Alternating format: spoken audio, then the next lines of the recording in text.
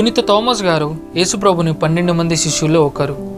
ఆయన గలలియ ప్రాంతమునందలి ఒక యూదా కుటుంబంలో జన్మించారు. సువార్తలలో ఆయనను దీదిము అనబడు థామస్ గారిగా పిలిచేవారు. థామస్ గారు యేసుప్రభుని శిష్యుడని నాలుగు సువార్తలలో అపుస్తుల కార్యంలో స్పష్టంగా తెలుపబడింది. యేసుని కడర భోజనానికి ముందటి ఉపదేశాలు క్రైస్తవులకు చాలా ముఖ్యమైనవి.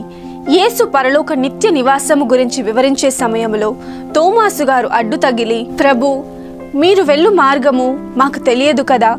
ఇక మార్గము ఎట్లు ఎరుగుదుము అని అమాయకంగా ప్రశ్నించారు. నేనే మార్గము సత్యము జీవము. నా మూలమున తప్ప ఎవడును తండ్రి వద్దకు రాలేరు అని తన రక్షణ మార్గాన్ని ప్రభు తేటతెల్లం చేశారు. థామస్ గారు యేసుని మోక్షారోహణానికి ఒక ప్రత్యక్ష సాక్షి అయ్యారు. ప్రభుని తల్లి మరియమ్మతో కలిసి ఎడతెగక ప్రార్థించినట్లు అపోస్తుల కార్యంలో గ్రంథస్థం చేయబడింది.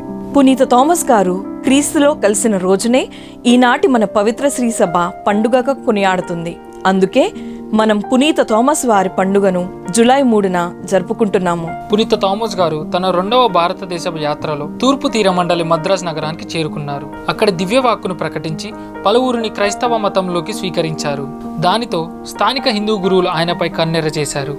తోమాసు గారిని ఆయన శత్రువులు వెతికి పెద్ద కొండలోని ఒక రాతి బండపై ప్రార్థిస్తుండడం చూచి ఆయనను కత్తితో పొడిచి చంపారు. థోమాస్ గారు క్రీస్తు శకం డెబ్బై రెండవ సంవత్సరం జూలై మూడవ తారీఖున మరణించారు. ఆయన నిర్మించిన దేవాలయంలోనే ఆయనను భూస్థాపితం చేశారు. థోమాస్ వారి సమాధిపై పోర్చుగీస్ వారు పదహారవ శతాబ్దంలో శాంతోమ్ చర్చ్ను నూతనంగా నిర్మించారు. అదే నేటి మద్రాసు అతి మేత్రాసన కథడ్రల్ చర్చిగా రూపొందింది. Amruthavani radio Veritas Asia Telugu విభాగం వారి తరపున మీ అందరికీ పునీత థోమాస్ గారి పండుగ శుభాకాంక్షలు.